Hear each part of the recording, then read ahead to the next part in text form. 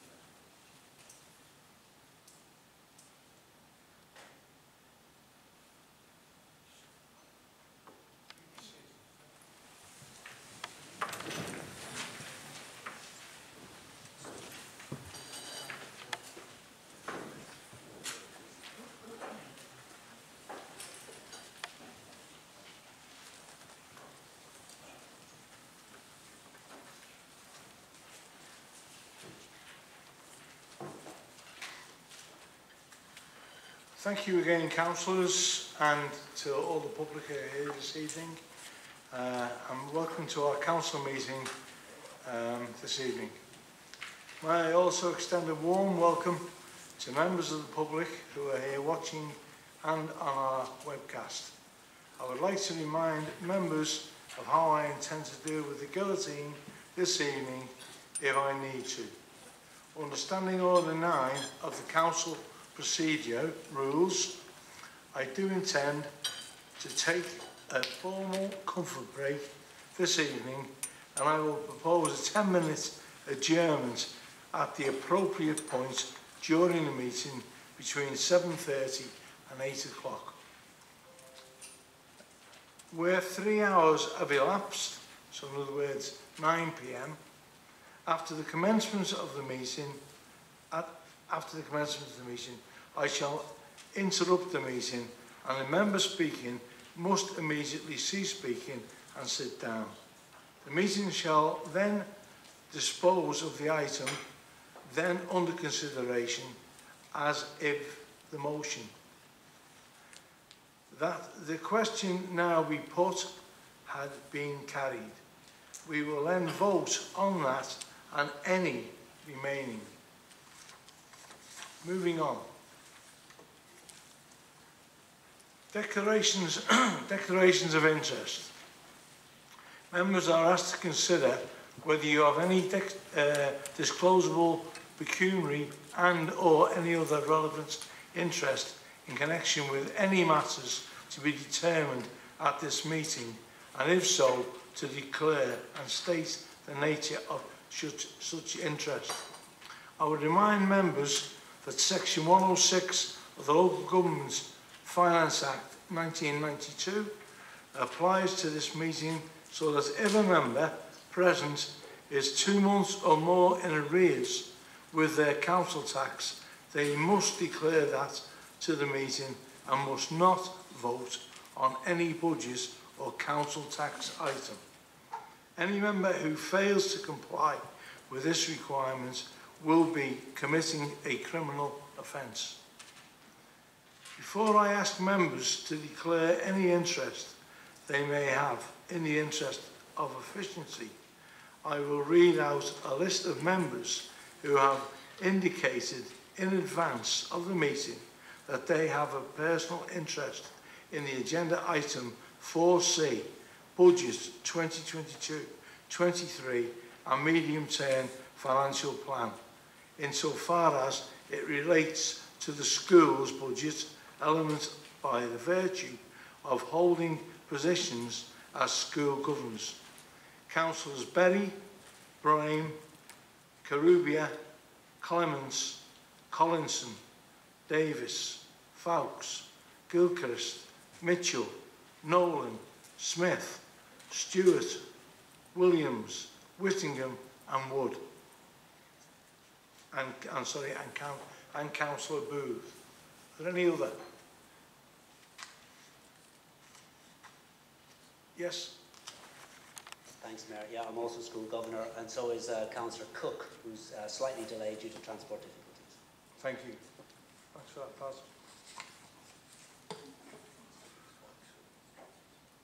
Yeah. Right. Additionally, can I report the following personal interest in so far as they relate to the school's budget element by virtue of those members either themselves or having close family members working in any of the schools or the council's education and children or young people's directors. Councillors Gray, Adrian Jones, Chris Jones, Povell, Robinson and Rowlands. Can I ask any members to make any further declarations and remind you that, that you should state the item number and title and the nature of the interest you have. Any? Mr Mayor.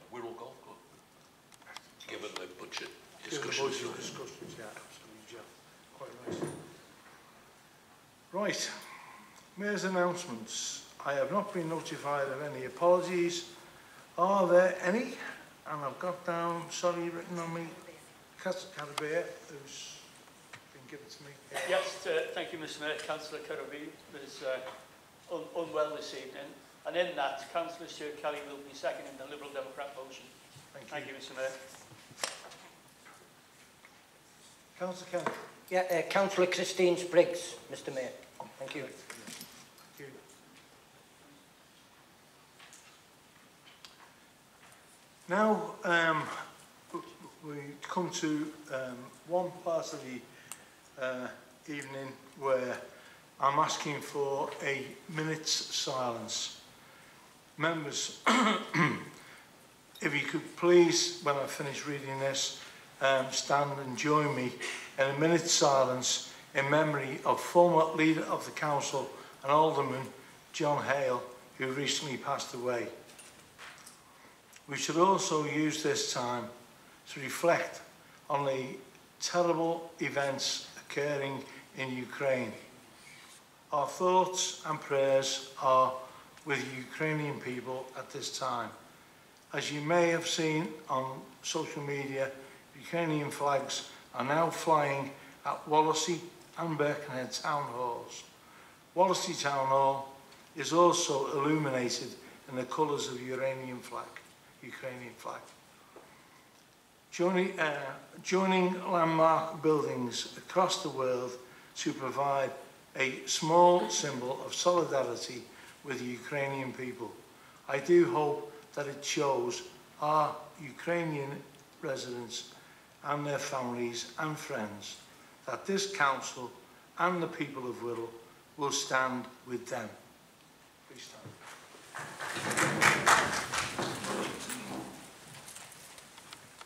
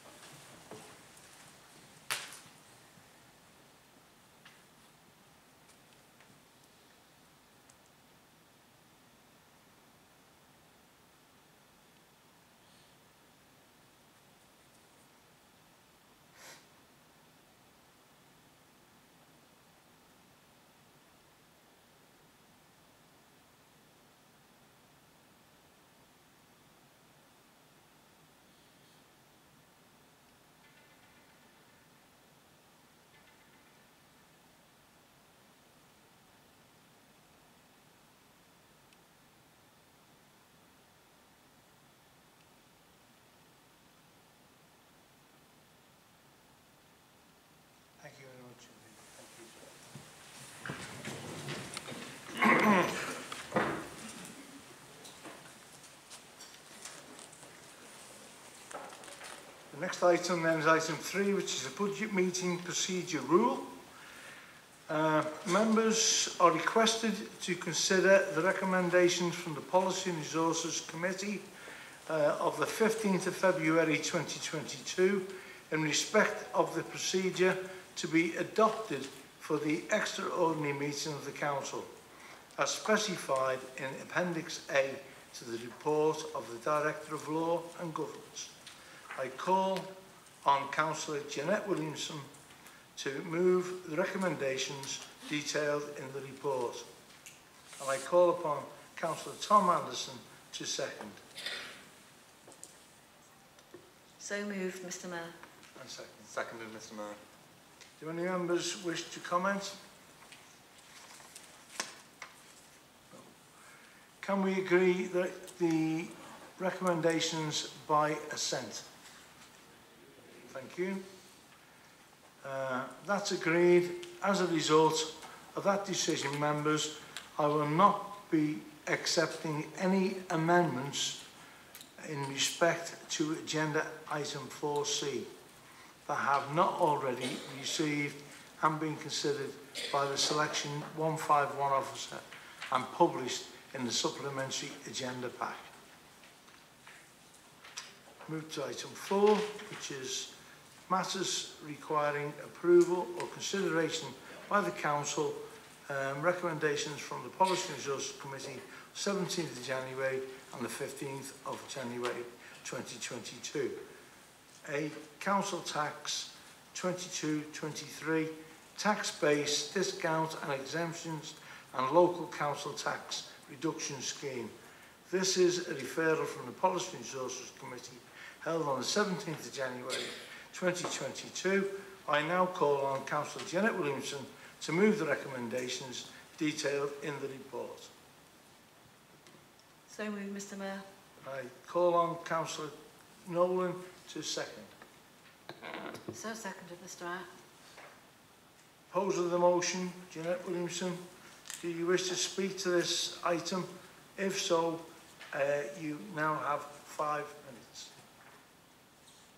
I don't wish to speak to you. Thank you, Mr Mayor. Thank you. I'm not aware of any amendments, so I propose we move to the debate. Are there any speakers? And you have three minutes to address the council. No. Um,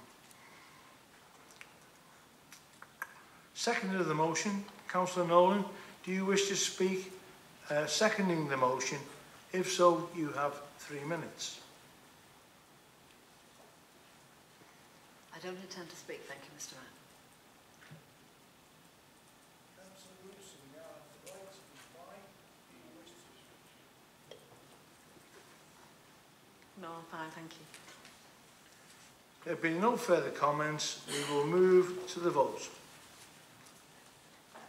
away. All those in favour, please show.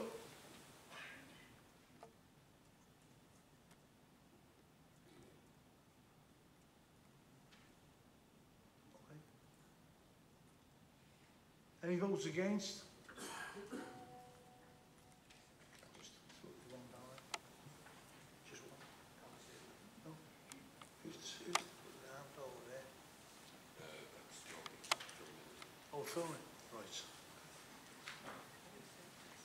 Uh, any, any vote, sorry, uh, any abstentions? No? Lovely. Announce results. That's carried unanimously. We now move to capital monitoring quarter three, 2020-2021. This is a referral from the Policy and Resources Committee held on the 15th of February 2022. I call on Councillor Janet Williamson to move the recommendations detailed in the report. So moved, Mr Mayor. And I call on Councillor Nolan to second. So second, Mr Mayor. Councillor Williamson, do you wish to speak to this item? And if you do so, you now have five minutes. I don't wish to speak, thank you. I am not aware of any amendments, so I propose we move to the debate. Are there any speakers? No. Um,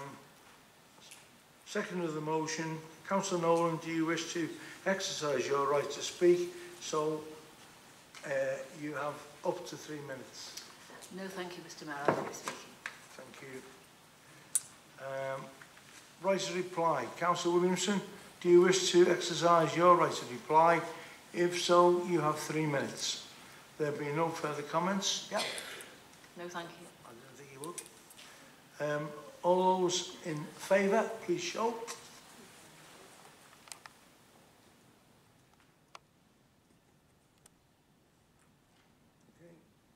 Any against?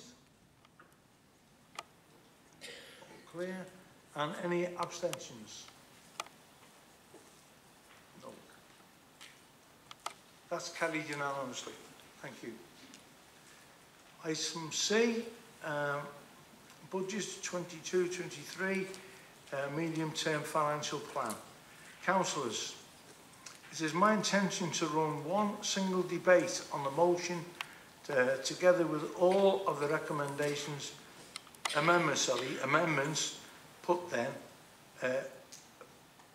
but then take separate votes at the end of discussion on the individual amendments as, they, as if they had been debated separately.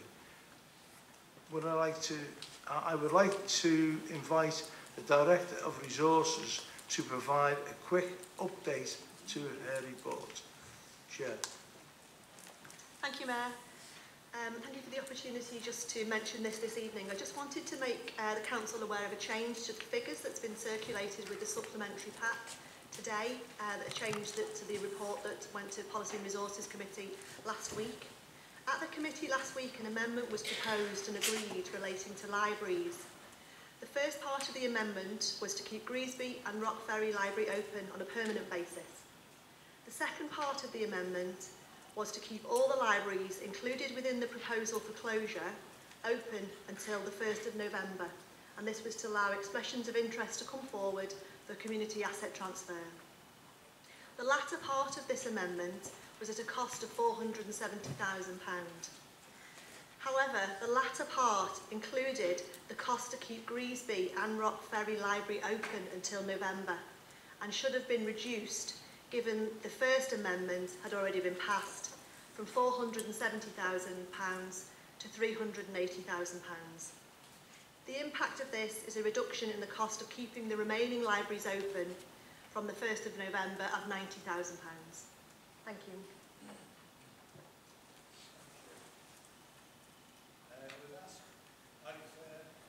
Um, I'll say that again. Thank you, Chair. Um, with that, I refer members to pages 59 and 68 of the summons and call on Councillor Jeanette Williamson to formally move the Policy and Resources Committee budget resolution and set out on the summons, including the Labour Group alteration, as detailed in the supplementary agenda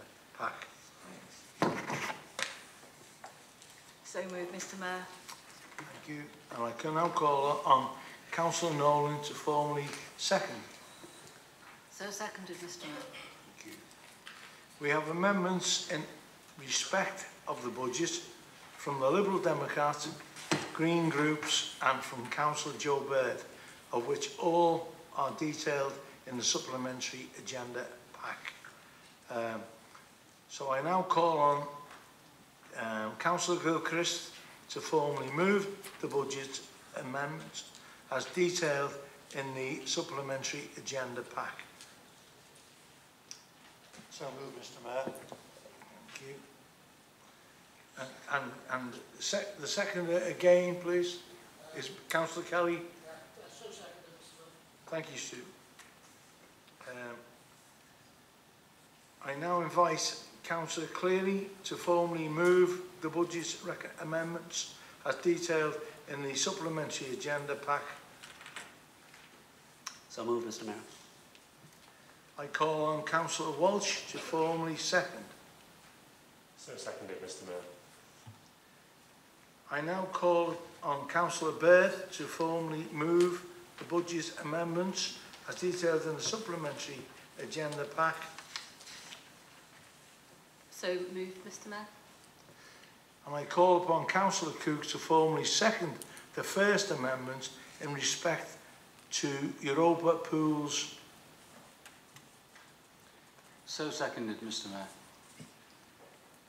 Does any member wish to second Councillor Bird's second amendment, please? No, that falls. Mr Mayor. Can you please listen? It's very difficult here tonight. You've got a crowd behind you and everything else. If you want to speak, please stand. Thank you. Sorry, Mr Mayor. Yes, uh, for the sake of democracy, I will second Councillor Joe Bird's amendment.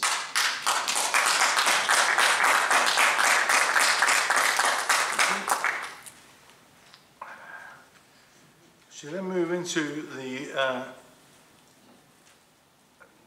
Budget debate.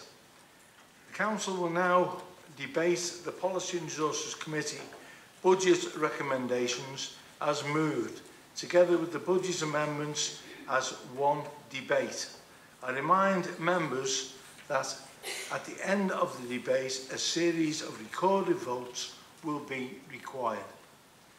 Um, proposer of the motion, Councillor Williamson, you now have 15 minutes to speak to your motion. Thank you, Mr Mayor. Mr Mayor, tonight is the most difficult budget I've ever been involved in as a councillor. Following our request for capitalisation and the recommendations contained within the Ada Burns and SIFPA reports, we're also being told by the government we must cut nearly £20 million from our spending on the services we provide for our communities or they will do it for us. And I'm sure tonight we'll hear the same old tired and lazy lines about Labour, but allow me to provide some context to our position.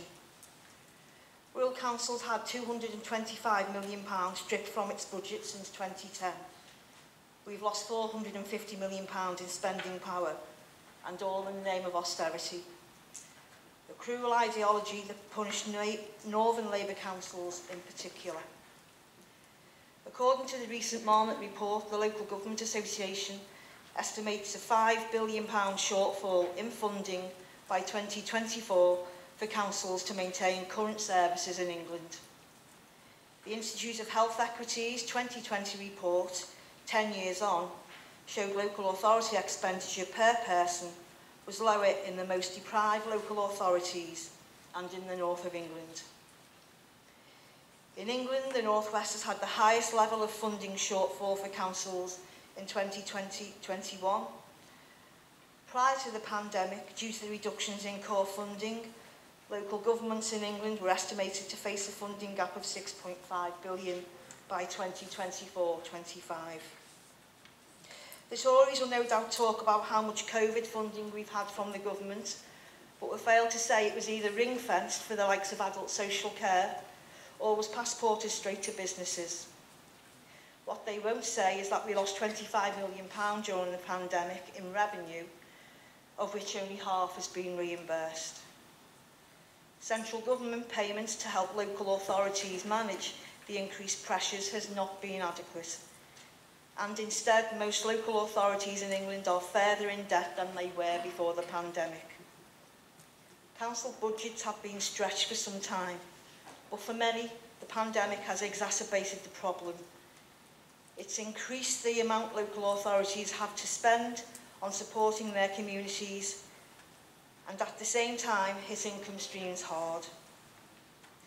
The Deputy Director of Local Governance Research Centre based at De Montfort University said the pandemic had deepened regional inequalities, particularly in England, by pushing financially burdened councils into further difficulty. She said the pandemic has forced councils to think the unthinkable. We are in a position where some councils are struggling to continue just to deliver the statutory services. And analysis from 2020 show 9 out of 10 major local authorities in England didn't have enough cash to cover their spending plans. This situation has been made worse by the coronavirus.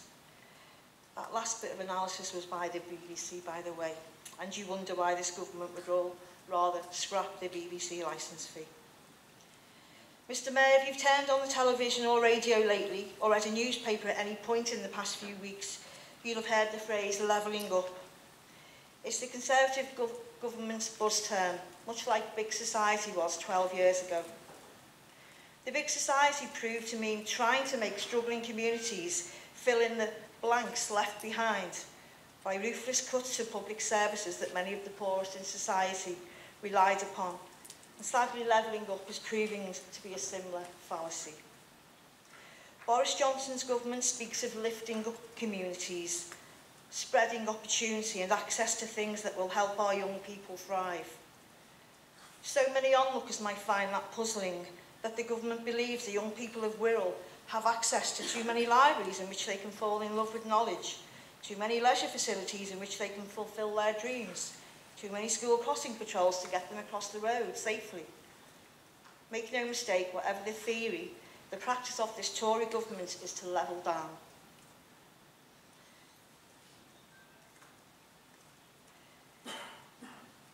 According to the government, libraries, leisure centres, recreation spaces like municipal golf courses, affordable parking permits for those who live in busy areas even our public toilets are luxuries we can ill afford.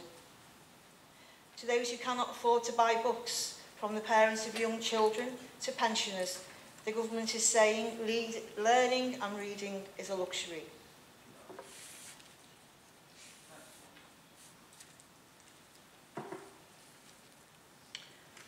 But the people don't will feel like they are luxuriating because they have access to our services. They think they're the least people anywhere that should be able to expect, at least a civilized society. The Conservative government seems to take the view that anything beyond the bare minimum we as a council are legally required to provide is enough. Try to square that with levelling up, the idea that anything beyond the most basic services is more than we deserve. Are we being unreasonable? Do we think we're a special case? No. This is happening around the country. But anyway, here's the news headlines, while we can still afford to hear it. Despite the fact the government has taken £225 million of public spending out of the Wirral in the last 11 years, despite the fact that they are digging deeper into our virtually empty pockets, the Labour Group has come up with a budget that balances the books in the fairest way possible under the constraints we have. And so this year, the financial challenges were so great, we requested permission to borrow money to bridge that gap. Not an ideal solution, I'm sure you'll agree, but like so many other councils, we're reaching the end of the road. We have to cut nearly £20 million from our budget, and we've been told to do that by a government who are not invested in our communities or in Wirral. Where our cherished assets and services are not valued, in terms of how they benefit our communities and how they contribute to overall health and well-being in a borough where inequalities are vast. Mr Mayor, the process of budget setting this year has been soul-destroying and not something I ever envisaged or wanted to be part of. But the expectation was that we work together on a cross-party basis and that we have done. There have been predictable disagreements along the way and we all have very strong beliefs about the role of local councils, but we have got there. However difficult this has been, I will not, and members in this room will not stand by and let faceless bureaucrats step in and make those cuts for us. And so it is to this end I would like to thank the members of my group who have spent the week since we were told how we needed to make such cuts, exploring options which we've now put together in the form of our budget amendments.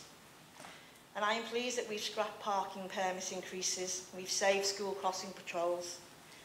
I'm delighted that we've thrown a lifeline to the Woodchurch Leisure Centre by investing 330,000 ring-fenced and giving a lifeline to our libraries and other threatened leisure services so that cases for community asset transfers can be given time to come together.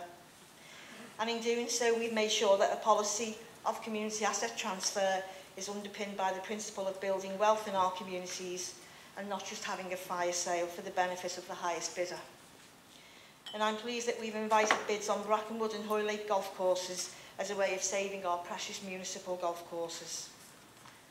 Our amendments have made clear that there will be no building on our green belt and green spaces, that the climate emergency fund has been restored to its full amount, that they, we will not close public toilets. There will be no reduction in our antisocial behaviour team. Our residents need to feel safe in their homes and their communities. And that £113,000 has been placed in a ring-fenced pot to help residents struggling with rising fuel bills. Uh, any community asset transfer will be underpinned by community wealth building principles so that it is a fair one and equitable to all those involved. Labour knows what matters, what's essential and what's not. Labour knows what's fair, that you build a fairer society by giving everyone more and not less, by giving communities the means to build up and not driving them down. Labour values our communities and we will work with them to keep our cherished assets and services open where possible. We will not allow these cuts to diminish our ambitions around community wealth building and around regeneration. We will build on the fantastic regeneration in Birkenhead and in Seacombe and in Lis Liscard to name but a few. Labour values the environment and is fully committed to keeping the Environment, Climate Emergency and Transport Committee. Labour values our workforce and has worked tirelessly to avoid compulsory redundancies.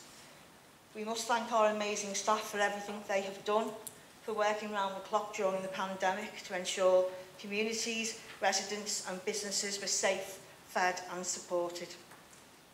And for their com continued commitment to this council and to rural residents. We must ensure that their health and well-being is paramount going forward. Mr Mayor, throughout austerity, Labour has a record that I am proud of. We have looked after our residents and our staff we have kept our services open and looked after the most vulnerable. And whilst we've been criticised for avoiding difficult decisions, I will hold my head up high in the knowledge that we've put our residents first and will continue to do so. And so, Mr Mayor, for those reasons, I urge everyone who believes in what is fair and decent to vote for this budget tonight.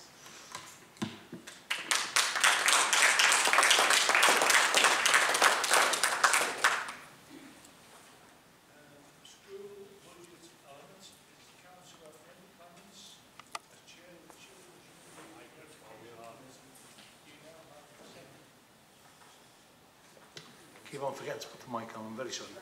Uh, Councillor Wendy Clements, as Chair of the Children's, Young People and Education Committee, you now have seven minutes to speak to the school's budget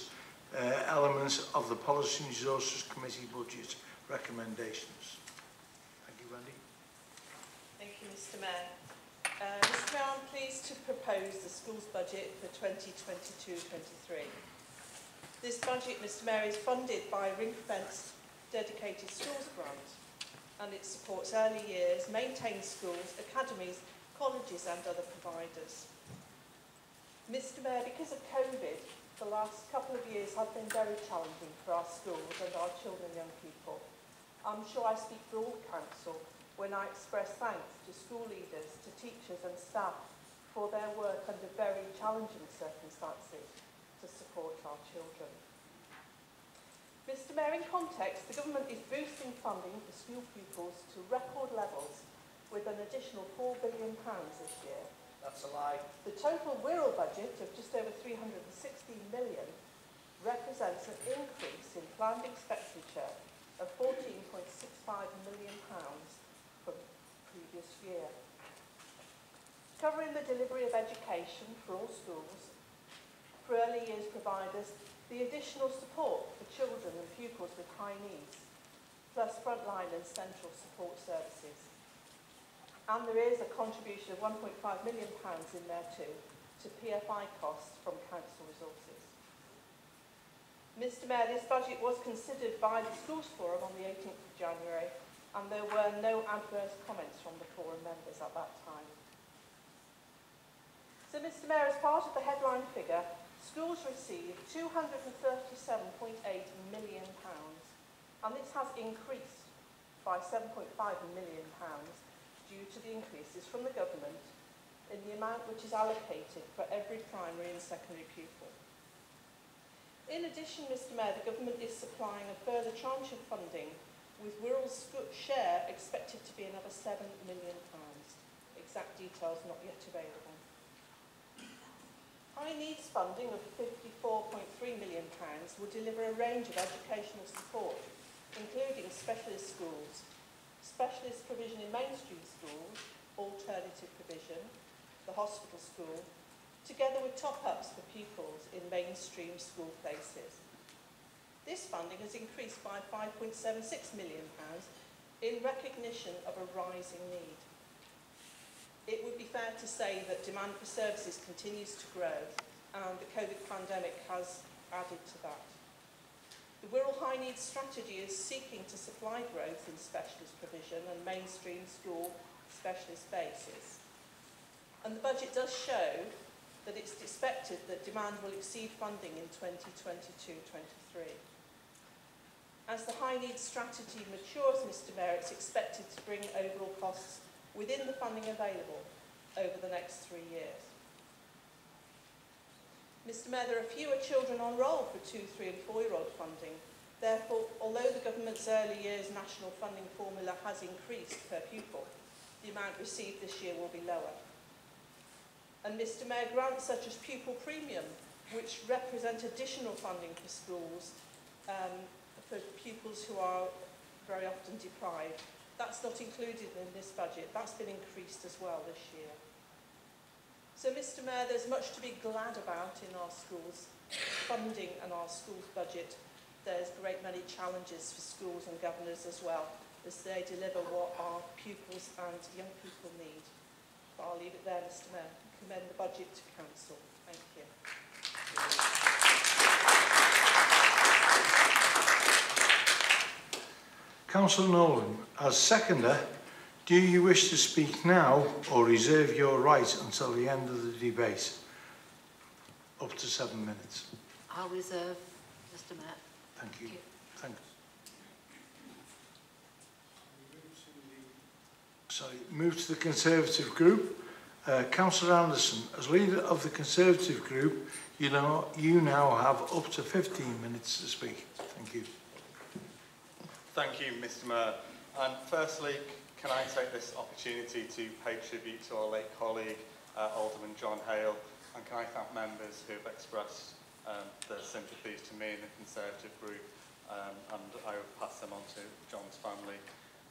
John did serve Wirral for more than 30 years in many guises, um, notably as leader.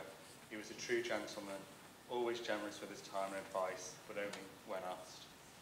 One thing that he was most proud of back in 1984 was securing £1 million of renovation for the extension of West Kirby Marine Lake, and I'm sure we're all grateful who did that. It would be hard to imagine Wirral without that famous Marine Lake, and John will be sorely missed by everybody. Now, turning to the budget, Mr Mayor. The Policy and Resources Committee recommended budget tonight. There's been months of work, negotiation and turmoil and it was only four months ago that two independent assurance reports commissioned by the Department of Levelling Up, Housing and Communities was published. And in those two reports, shone a light on the decades of irresponsible financial decisions that leadership of this council has made. Short-term one-offs, squandering 49 million from council reserves to balance a budget year on year, and the inability to make long-term financial decisions has led to this mess we are in today. And I noticed the leader quoted a lot of media quotes, so just let me quote a few media quotes closer to home on what they reported in the last decade. Let's go back to June 2013, when the Wirral Globe reported that overcharged residents have been waiting for three years to be repaid by Wirral Council. Let's go back to October 2013, Liverpool Echo reports that fraudsters con the council out of £45,000. Town hall bosses thought cash was going towards a care. Let's go to November 2013 when Wirral Globe blasts a Downton Abbey style staircase that cost £850,000 on a fire escape. Let's go back to September 2014 when the Liverpool Echo reports that an investigation launched after Wirral Council paid consultancy company five times the agreed £50,000. That's £200,000 more that was in the contract price. Let's go to February 2017, when the Wirral Globe reports that Wirral Council books out 1.3 million on temporary managers and consultants amid out of an outcry from cuts. Let's go to February 2017, when the World Globe reports Fury as World Council hires Labour's own policy advisor to be their new investment chief at a cost of £350 a day. That worked out well, didn't it? Let's go to April 2017. The World Globe reported the cost of push, pushing the council's Wirral View newspaper through the letterbox soared to £126,000 a year and let's go to April 2018. The Wirral Globe reports Wirral Council under fire for lending 50 million to other local authorities. Let's skip to November 2018. Wirral Globe reports how a council consultant earned £245,000 from the public purse over 14 months. Let's skip forward to February 2019 when the Liverpool Echo reported that the cash-strapped Wirral Council buys a few Cinema in Birkenhead for 7.1 million. Let's go now to April 2019. Okay, go, we've got the Daily Mail instead, so not quite local, but getting just... Council Fat Cat earns nearly four times the salary of Prime Minister with his £600,000. That was referring to the payoff that one of Wirral's strategic directors Let's then go to March 2019, when the Council uh, World Globe reports the Council paid huge amounts of money, £182,979 to be precise, to a company they only found out was dissolved by Googling it. That worked out well again, didn't it? Let's go to November 2019, when the Liverpool Echo reports that nearly £30 million was spent in six months outside of normal processes that we paid with anybody who didn't have a purchase order number. That's now skipped to August 2021, where there were all Globe reports that now council's £500,000 way out of the Hoy Lake Golf Resort folly that you paid off for your mistakes. Mr Mayor, the reason I highlight these issues is because we, all parties, must ensure that those collective failures and the shame and embarrassment that it brought to Wirral and Wirral Council, not to mention the detriment that on Hall residents can never happen again. The committee system and our new government structure has highlighted these poor practices and rightly forced us to work together to set the reset the council's finances. And I noticed that the leader in her speech, you know, everything, all the good stuff is down to the Labour budget, everything else, Natalie's all down to Tor Tory austerity. But, you know, those are the highlights there. I'll email you all the links in the press. was many more, just couldn't fit it in. 15 minutes.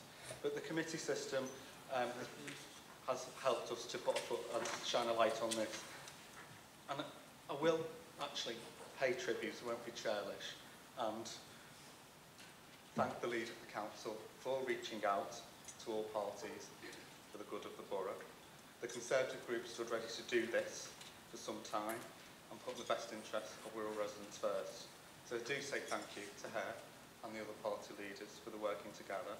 The last four months have been challenging. but showcases what collectively we can achieve when we need to. I just hope in the coming years that we continue in the same vein, working together, and we achieve more than retreating into narrow ideological stances and dogma.